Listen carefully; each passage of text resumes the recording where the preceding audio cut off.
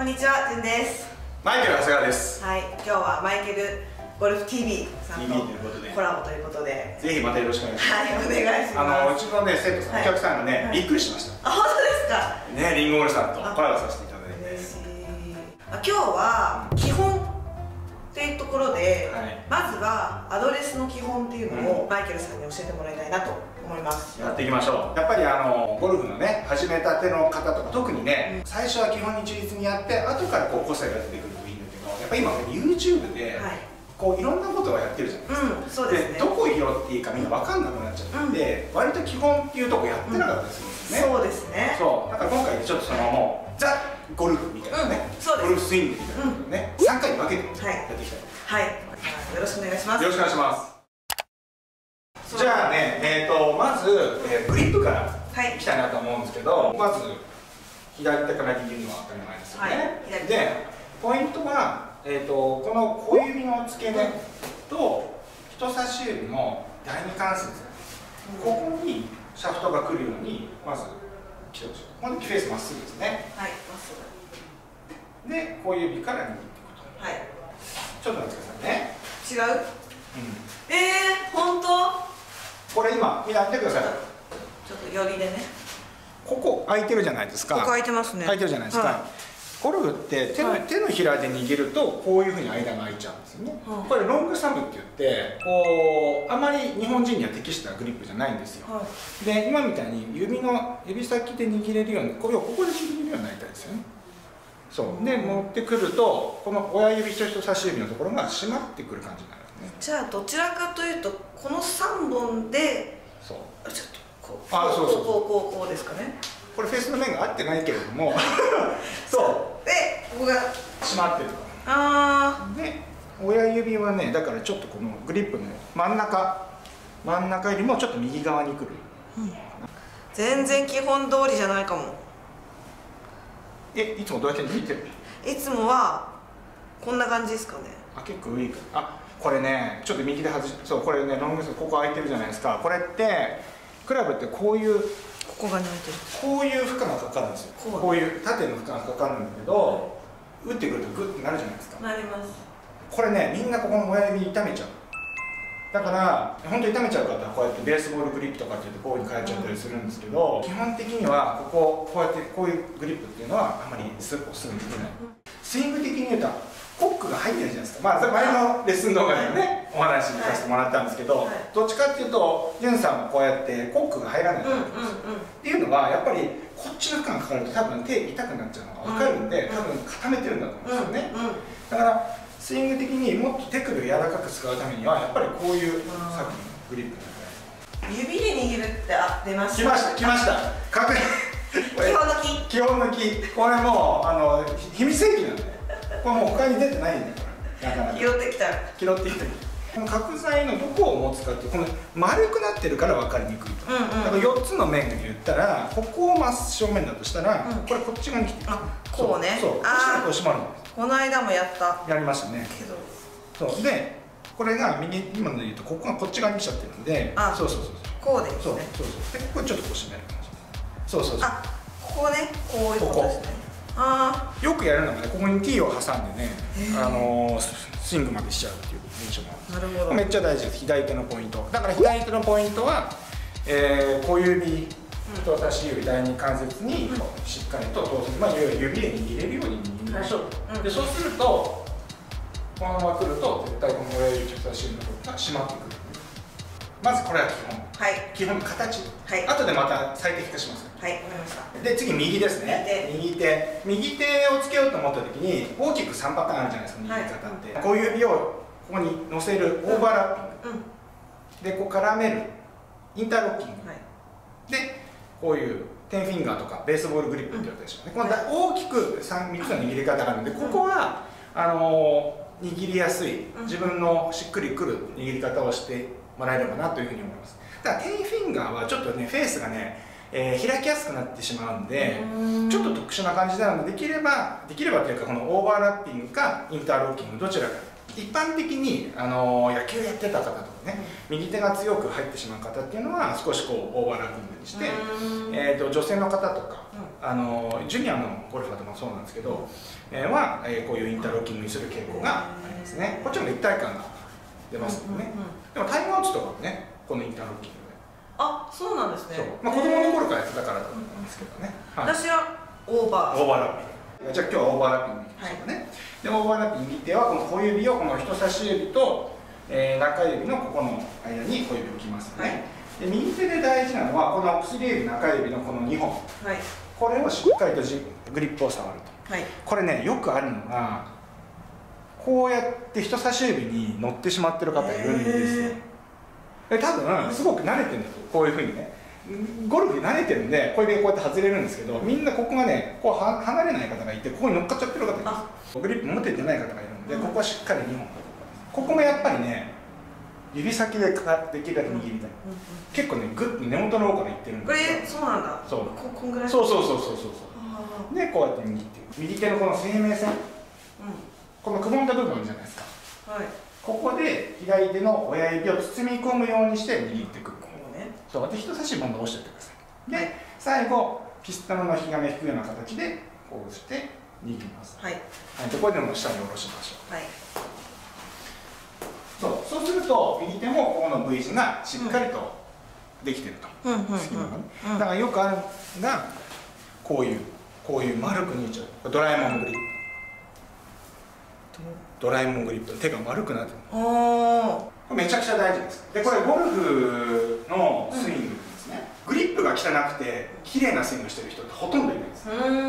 だからこれ一番最初にこれ今からグリップ直すとめちゃめちゃくちゃ大変じゃないですか。そうですね。だからこれゴルフ始めたての方はですね。もう絶対ここまず基本通りに握る。これスイングよりも大事なので確かに。やってください、はい。はいまあこれで形ができたと思うんだけど、えっとまだなんですよグリップまだまだまだあるんです。そうですよまだあるんです。これを自分に最適化しない。といけないはい。でこれって今スクエアグリップ、まあ、一般的に言うスクエアグリップなんですね、うんうん。さんのじゃあスクエアっていうのはこれかどうかって違うわけです。何を言ってるかっていうとちょっとクラブの話なんですで、まあ、なんとなくゴルフの前傾姿勢をとってうんうん。で腕を前にダラーンと垂らしてください。でダラーンと力がそうだだからそうすると必ず手っていうのは親指が内側にこう入ってくるわけです、うん。これ内旋するんですけど、これが今左腕がねじれてない状態なんですね。これは通常。ははい。でゴルフのグリップでもこのぐらいしてるじゃないですか。い。はで何にも意識しないでバーって腕が折れ降りてきたら、うん。さっきの形に折れてきやすいんです、いうんうんうんってことはこう握っておいてこう降りてきたらフェースは？開く。だからすごいこういう動きをして、うん。これに対してアジャストしていかないといけないんですけど、おそう最初からこうやって今のこの角度で仮に握ってたとしたら、うん。でこう来たら何もしなくてもフェースの面っていうのはスクエアに入ってくるそうだからジュンさんにとってのスクエアっていうのはまあ割と結構内側に入ってくるタイプ。うんうんうん。これね人によってはねこのぐらいの人もいたりす。るうーん。だからそれ人それぞれその体の状態って違うじゃないですか。でもなんていうのかなレンズうまく入ってこうやって手がしっかりお正屈って言って、うん。スピネーションとか言ったりするんだけどフェースこうスイング中に閉じてくる動きができてるんで、あのさっきのグリップも全然スイングとしては成立してるんだけど、こっちの方が割とシンプル、うん。だから、えー、と始めた方がステライスで悩んでる方とか多分この角度がね違ってたりするんでチェックしてくだなるほど。これでもいい握るこう。だから左手はどちらかというと上から。上から。で右手はちょっと下。下から。この間は分かったそうそうそうこんな感じ。これめちゃくちゃ綺麗です。うん。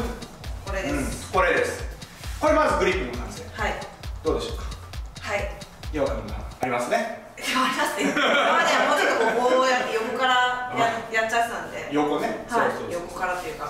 で大事なのはこの、まあ、形もそうなんですけどもう一体感。一体感、うん、あの右と左に一体感をしっかり出すんで左の親指とこの生命線がしっかりフィットしていてこれがスイング中に開いたりしないように女性の方とかよく見るとパカッとここで開いちゃったりするんですけどここがねここが開いちゃったりするここがここですね開い。ちゃったりそうすると握り直したりするんでクラブをこうなんていうのほどくこういうキャスティングって動きあるじゃないですかだからこういうことになりやすいんでこれグリップめちゃくちゃ大事なんですここを意識するうんうんうんうん。わかりましたということで皆さんも基本のグリップ一回確認してみてください。大事です。大事です。とても大事です。はいで次グリップできました。はい。グリップできました。で次は構えです、はい。で構構えは構えも全部めちゃくちゃ大事ってグリップ言ってるんですけど、はい。構えも大事、はい。大事。あそうですよね。大事です。あグリップと構えができてればなんかゴルフが一番こうシンプルに上手になるんじゃないかなと私も思ってます。そうです、うん。絶対にそうなんですよ、うでもこの構えた時に、例えばギターを吹く人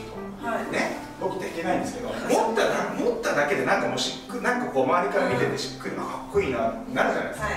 ゴルフも一緒でアドレスが綺麗な方ってやっぱりうん。ちょっとやっぱりよく見えるじゃないですか。そうですね。だから絶対に女性の肌とか、はい。若いねゴルファーの方特にそうなんですけど、うん。かっこいいアドレスをまず取ってもらいそうですね。はい。はい。結構簡単ですからだって止まってる分なんで、はい。スイングって動きの中にあるんで、うん。いろんな力の釣り合いを取りながらそのフォームを作らなきゃいけないから難しいんですけど、アドレスとかグリップっていうのはね止まってるからできますよ。はい。やっていきたいですはい。はい。アドレス。今日はねアドレスの中でもポスチャーって言われてる。ポスチャー。ポスチャー。わざわざ難しくしてます。ポスチャー。ポスチャーわかります？ポスチャー。わかんないです。初めて聞いた。まあでもご覧の方は分かってる方いる。と思うんですけどあポスチャー姿勢のことですね。あ姿勢姿勢です。まあやってみましょう。か、はい。一番簡単な方法。はい。ね。大体わかると思うんですけど、はい。構えた時に、まあ、ゴルフっていうのはこういう来角とか要はあって、下にあるボールを打つのでやっぱりこの前傾角っていうのがめちゃくちゃ大事なんですよ。うん。前に倒れてるか。はい。ら例えばこういうふうになって下にあるのがにくいですよね、はい。なので前傾をしっかり作る。でこれが作れればスイング中にこの前傾角度をキープしやすくなるんで、うん。はい。なんですけど、まあ、クラブをまず横に持ちます、はい。で足の幅はですね大体肩幅ぐらいはい。今日7番アイアン持ってもらってですけど、まあクラブによってね多少ね広くなったり狭くなったりするんですけど最初はね覚えるのに肩幅ぐらいでいいと肩幅はい。でクラブを横に持ってもらって足の付け根。うん。でこれを後ろにぐーっと押します。でこの時に前に行かないでできるだけ後ろにお尻を引いてできるだけ前後のバランスを取ってもらいたいんですよね。はい。で結構後ろの足が今張ってくるじゃここないですか。張ってきますよね。張ってきますから軽くリラックスする程度までうん。なるほどね。めっちゃ綺麗ですよ。そうですね。もうこの手順でこれしかないです。あこれしかないです。ー先にねみんなこう膝曲げたりとか。それからなんかこういう構えになったりするんですね。そうなんです。そうなんです。いいこと言う。これをね逆にやってしまうと骨盤がねこううまく入らなくなっちゃうんですよ。うんうんうん。この骨盤自体がしっかりと前にこう前傾っていうことが大事なのでうんそうこの手順で必ずやってください。かここから曲げてそうですそこを張らせてからあそう張らせてから揺れます。そうですそうですで構えるめちゃくちゃ綺麗です。そうですね。そうですそうです。ここまでできるとこの腰からこの後頭部まで後ろまでが一直線になるっていうのが、まあ、ビデオとかカメラで撮った時になってるといいですよね、うんうんうんうん。これが姿勢です。ねはいでもっと細かいこと言うとちょっと潤さんの場合ってここの腰の部分が少しこう反ってると思うんですけどね。これできるだけもうちょっとお腹に力を入れてここを最終的にはまっすぐになる。ようにこうですか？もうちょい。もうちょい。そうそうそうそうえー。これがこれちょっと変な感じするじゃないですか。えあの女性の方とかこういう反り腰になりやすいんですよ、うんうんで男性の方も腰痛持ちの方は結構こういう反り腰で構えてしまう方が多いので、はいやっぱりねちょっとこう長くゴルフってやってもらいたいじゃないですか、はい。だからできるだけそこはフラットになるように心がける。はい。これはゴルフだけじゃなくて普段の生活からやらないと多分変わらないと思うんで。そう。ゴルフのパフォーマンス的にもですね、はい。こうやって反ってしまうとこの上半身のね可動域出ないんです。うんへえリュウさんどっちかっていうとバックスイングあまり入りが悪いか。ら、はっていうのはちょっと反り腰だから入りが悪いっていうのがあるんですいなるほど。はい、意外とねここのとこ盲点なので背中まっすぐしようとして結構こうなっちゃってる方いるんで。テイクバックが本当に急に浅くなる時があるんですよ。で引っ掛け。そう。ですだからもうそれ直したいの。あー。それ直したいんだけどそれってスイングだけじゃ直んないんです。うん。だからそうやって今のみたいにここの背中がフラットになってるとこのね下半身と上半身ここの部分この肋骨の部分のこのなんですか螺旋になってるんですけど、うん。螺旋状にこうねじられていくんだけど、うん。これがフラットになってると綺麗にもう石川遼君とかも綺麗にねじられてくるああいう感じのバックスイングできるんですね。そう。だからここはね結構違和感あると思う。潤さんはあでも直さないと。直してもいいですね。ははい。まあこれ今姿勢ですでで手元じゃどうするのっていう感じなんですね、うん。こうやって12で構えててここあるよねってなるじゃないですか、はい。まあ、大体まあ両腕がガんタらして大体合わせたあたりが大体手の位置かなっていうんですかね。だからんでパンって押す大体そしたらそのあたりが手の位置、うん、そうするとここに、えーと、と自分の体とグリップエンドまでが大体握り拳1個から1個半ぐらいですよね、はい、まあ昔からよく言われます。これぐらいがまあ一応基本形っていう感じです。か、ね、うん、うん、今ちょっと丸めてるというかやってるんですけどあでもさっきより良くなったんですけどこれご覧の皆さん分かると思うんですけど、まあ、もうちょっと。もうちょい、まあ、難しいですよ。こんぐらい？そうそうそう。なんかやっちゃいけないスイングに見えるじゃな。いですか、はい、後で見てください。そうです。こう仕上がりの動画そうするとこうグッといく。回りやすい回りやすくなります、はい、アドレスもう一回やっていいですか？はい。アドレスまだありました 今できました。あできました。できました。できましたと。このターゲットラインって言いますよね。ターゲットラインって言います。ターゲットライン球線って言ったりもします、はい、これに対して両肘両肩が揃っているように構えてほしいですよね、うん、これが、えー、ポスチャーの次にやるアライメント、はい、わざわざ英語にしてます。アライメント。方向取り。はい、はい、だからこれが 例えば右手の方が遠くに来てるじゃないですか。だから割と右肘の前に出やすいんでしっかり右肘は曲げておく。あこう。そうそうそうあそうそう。そうするとここが揃ってくるんで。でまあ一番最初の位置は肩肘腰ですね。腰。この腰足が平行になるような感じでいいと思います。で一つでこの後ねスイングを覚えてることになると体が硬かったり柔らかかったりするとこれがちょっとオープンスタンスにスタンスだけオープンになったりとかクローズにしたりとか、まあ、この辺り個性出てくるんだけど、まあ、一応基本形としてはまずこの、まあ、全部スクエアスクエアスクエア平行平行平行です全部覚えていった方がいいと思います。これね最後にやったんですけどこれめっちゃ大事ですよ。全部大事って言ってくださいアドレス取るのめっちゃ疲れるんですけど。疲れます。本当真面目にやったら練習場200300っていう方結構いるんですけど、はい、ほぼほぼ打線の練習です。そうですね。50球真面目にやったらねもう本当ヘトヘトになりますから。大事。大事だ。このアドレスっていうのはしっかり揃ってないといくらいいスイングしても結果が×になっちゃうんですよ。例えばこれがね本当あるんですよ。こういう方向向いちゃってて、うんうんうん、打ってあ右に OB 打っちゃったスイングがなるんですけど、いや向いてますね これがやっぱりねこれ最初のうちからもうしっかりこういうトレーニングしてできるようにね皆さんしていただければ。と思います、はい。はい、ということで基本のアドレス、まあ、グリップから構えまで教えていただきました、はい。えー、次回の動画はここからスイングですね。そうです。やっとこれから 次回の動画はバックスイング、まあ、これもね、はい、すごい大事だと思うので。めちゃくちゃ大事です、はい 楽しみに。よろしくお願いします